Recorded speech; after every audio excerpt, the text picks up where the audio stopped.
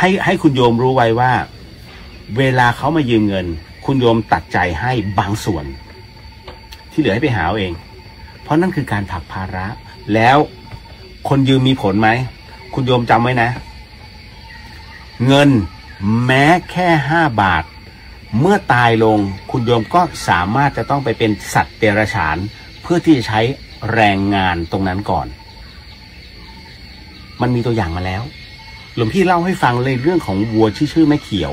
ถูกไหมยังมีอีกมากมายที่เป็นที่ต้องถ่ายชีวิตอะ่ะที่ที่วัดต้องไปถ่ายชีวิต อันนั้นน่ะ พวกวัวพวกควายเหล่านั้นน่ะ มันเป็นการเกี่ยวเนื่องเกี่ยวข้องนะคุณโยม เป็นพวกที่ยืมเงินแล้วไม่ใช้เขา ต้องถ่าย เพราะมันจะเข้าลงเชือดยังยังตายไม่ได้ แต่ด้วยความปราณีไงกรรมมันมีเขาเรียกว่ามันเอ่อมันมีดอกเบี้ย เมื่อตายลง ไอสไตน์ถึงได้บอกไงทฤษฎีสัมพันธภาพ อะไรที่เร็วกว่าแสงเวลาจะยืดออก ดังนั้น เมื่อตายลงตัวจิต มันถูกยืดระยะเวลาออกไป การชดใช้จึงถูกยืดระยะเวลาไป มันกลายเป็นดอกเบี้ยทบทบทบทบทบขึ้นมา นี่แหละทำไมจึงต้องกลายเป็นสัตว์ผู้ถูกใช้งาน แล้วตายแล้วเกิดตายแล้วเกิดตายแล้วเกิดอะถ้างั้นก็เป็นแค่วัวควายชาติเดียวสิไม่ใช่แต่เย็นๆเมื่อตายลงจากโรงเชือดเกิดใหม่ ก็ต้องเป็นมันอีก เพราะตามมูลค่า ให้ระวังนะ คุณโยมหลวงพี่ไม่ได้พูดเล่น มีในบันทึกกฎแห่งกรรมด้วย นั่นแหละ เพราะฉะนั้นทุกๆเรื่องราว มันมีความเป็นไปได้และความเป็นไปไม่ได้ มันบ่แน่เจริญพร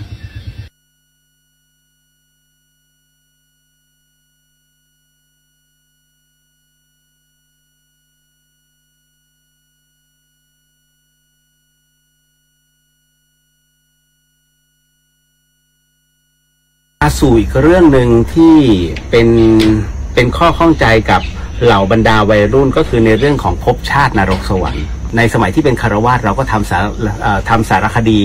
เรื่องราวเหล่านี้ เพราะนั้นหลวงพี่ก็พบเจอแล้วก็เทสพวกนี้มาด้วยตัวเองอยู่แล้วว่า เฮ้ยจริงเหรอที่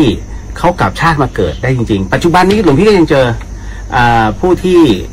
เคยเป็นสามเคยเป็นแฟนมาก่อนในชาติที่แล้ว แต่ว่าตัวสามีตาย เป็นสามีคนแรกตายถูกเป็นประสบอุบัติเหตุ แล้วเกิดใหม่ ชาตินี้สามีเกิดมาเป็นลูก แล้วเขาจำได้หมด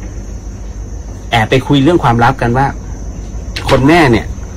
ไม่มั่นใจว่าจริงเหรอลูกพูดเล่นจริงป่ะอันนี้คือก็แต่งงานไปแล้วไงแต่งงานกับสามีปัจจุบัน แล้วพอลูกออกมาเนี่ย กลายเป็นวิญญาณสามีเนี่ยมาเกิด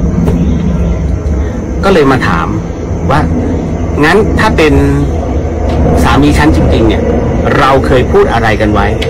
เขาบอกได้หมดเลย คุณโยมน่าตกใจมาก สิ่งที่เป็นความลับอ่ากันและกันเนี่ยเขาจำแม่น ปัจจุบันนี้ก็เขาเรียกว่าตัดขาดซึ่งกันและกัน เพราะว่าถ้าเล่าเรื่องนี้ให้กับสามี ปัจจุบันรู้ ว่าลูกเนี่ย คืออดีตสามี ท่านคิดว่าอะไรจะเกิดขึ้น ก็เลยตัดตรงนี้ออก เป็นเพียงสัมพันธ์สัมพันธ์แม่ลูก โดยโดยฉันทะเลย นั่นแหละก็เป็นการดูแลซึ่งกันและกันฉันเพื่อนไปนี่คือนี่คือที่มันเกิดขึ้นในปัจจุบัน นี่อยู่ตรงนี้บ้านอยู่ตรงนี้ อยู่ตรงโคงสิงเชียงใหม่เนี่ย และคราวนี้อ่าถ้าในเรื่องของอดีตชาติ คุณโยมคิดว่า วันนี้มีใช่ไหมพรุ่งนี้มีไหมล่ะพรุ่งนี้มี แสดงว่าพรุ่งนี้มีแล้วเมื่อวานมีไหมมี มันผ่านมาแล้ว อืม เราจับต้องได้ไหมไม่ได้ มันผ่านมาแล้วจะไปจับต้องตอนนี้จับได้ อนาคตก็จับไม่ได้ มันคืออนาคต มันคือภาพฝันว่ามันต้องมีพรุ่งนี้คำถามคือ แล้วตอนที่เราอยู่ในท้องล่ะ ก่อนจะเกิด ก่อนที่จะมีดวงจิตรับรู้ ตรงเนี้ย มันมาจากไหน คุณโยมทุกท่านเนี่ย หลวงพี่บอกเลยว่า แรกเกิดคุณโยมนะคุณโยมรับรู้โดยสันดานเลยว่า ตั้งแต่เกิดมาคุณโยมเป็นผู้ที่มีสัมผัสได้ทั้งหมดเลย แต่พอเอเจอเขาเรียกว่าสิ่งรอบข้างที่เป็นโรกีนะโลกโลกียะ ตรงนี้มากระทบกระทบกระทบ สังเกตเห็นดวงตาเด็กไหมเริ่มขุนเริ่มขุนเริ่มขุนและเป็นสายตาปัจจุบัน แต่ถ้าเด็กที่แรกเกิดมาดวงตาใสแป้วเป็นประกายสวยอย่างอย่างกับตากวาง อันนั้นมันเป็นดวงตาอันบริสุทธิ์ มันเป็นเรื่องน่าแปลกคุณโยม พอพอพอเราจะถามเรื่องภพชาติ ทุกคนจะบอกว่างมงายไม่เชื่อ แต่พอถามว่า เชื่อเรื่องมนุษย์ต่างดาวไหมเชื่อเรื่องเอกภพไหมเชื่อเรื่องว่าในพื้นโลกของเราเนี่ย อ่า มันมีอะไรอยู่ไหมมีเพชรไหม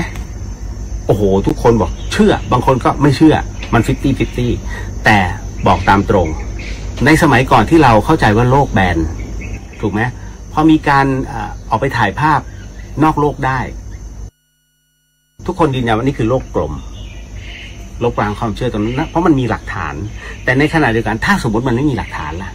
อย่างกรณีที่บอกแกนโลก แกนโลกเป็นของแข็งเหรอ หรือแกนโลกเป็นของเหลว มันมีสองแบบถูกไหมเพราะฉะนั้นเนี่ยเราแค่สันนิษฐาน อ่า ในขณะเดียวกัน มนุษย์ต่างดาวเขาว่า UFO เรามั่นใจแล้วหรือว่าเราคือเอกอุในเอกภพนี้ เราเป็นโลกเดียวที่มีมนุษย์จริงหรือ มันต้องมีโลกใบนี้มีอะไรที่ซับซ้อนเยอะ ดวงดาวไม่ใช่มีโลกแค่อันเดียว world นั่นคือต่างหาก ถูกไหมเพราะฉะนั้นเนี่ยก็จะมีสำสำรวจไปที่ดาวอังคาร ดูก่อนว่ามันมีแนวโน้มไหม ซึ่งมันก็มีร่องรอย และถ้าไกลไปไกลไปในกาแล็กซี่ล่ะ มันต้องมี เป็นอีกหนึ่งมิติที่ทับซ้อนกัน ถูกไหมดังนั้นเราจึงปฏิเสธไม่ได้ อย่าอย่าปักใจเชื่อว่ามันมีจริง และอย่าปักใจเชื่อว่ามันไม่มีจริง เพราะทุกอย่างมันบ่แน่ อันนี้เลยต้องเก็บเอาไว้ให้คิดก่อน ดังนั้นเนี่ยในเรื่องของสวรรค์นรก ตรงนี้หลวงพี่บอกเลยว่า คุณโยม ศาสนาพุทธของเราเนี่ย เป็นศาสนาที่กล้าหาญและบอกให้รับรู้ว่า นรกสวรรค์มันมีจริง แล้วมันมีตรงไหนล่ะ นรกคือความชั่ว สวรรค์คือความดี เวลาคุณโยมทำความดีปุ๊บ มันใจมันหอมมันชุ่มชื้น มันแบบมีพลัง energy ถูกไหมนั่นแหละ เนี่ย สวรรค์มันมาทันที แต่พอมันรู้สึกว่าเฮ้ยทำไมเราไม่ควรทำแบบนั้นเลยนั่งเครียดทั้งวันทั้งคืน แค่นั่งเครียด คุณโยมรู้ว่ามันผิด นี่นรกเข้าไปแล้ว มันคือนรกในใจ เห็นไหมนรกสวรรค์เห็นกันชัดๆ เพียงแต่เราเปรียบเทียบมัน แต่ถ้าเมื่อตายลง คราวนี้เป็นเรื่องบุญและกรรม คือการกระทำที่เราทำเอาไว้บนโลกใบนี้ มันมีผลกระทบกับส่วนรวมไหม ถ้ามีผลกระทบกับส่วนรวม เตรียมตัวของฟรีไม่มีในโลก มันมีเอาคืน ถูกไหมคุณโยม นี่แหละหลวงพี่ก็เลยต้องออกมา เทศเสมอๆหลวงพี่ไม่ได้เทศให้บรรลุนะ ต้องวางจิตแบบนี้จะต้องนั่งสมาธิแบบนี้ พระไปคุยกับคุณโยมเนี่ย โดยปกติ ถ้าคนสนใจคือสนใจ แต่ถ้าคนไม่สนใจ หรือว่าคนที่เป็นปัจเจกชนเนี่ยขึ้นมา เฮ้ย ฉันทำไม่ไม่เหมือนที่พระพูด ถูกไหมมันมีแต่เสีย เพราะฉะนั้นเราเตือนเฉพาะ